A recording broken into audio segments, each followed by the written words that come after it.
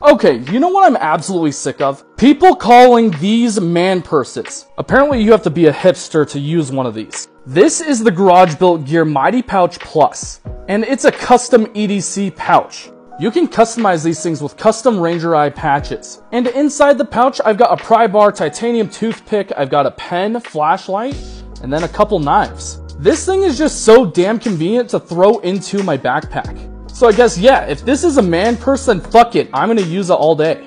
Same thing with this Rover EDC custom pouch.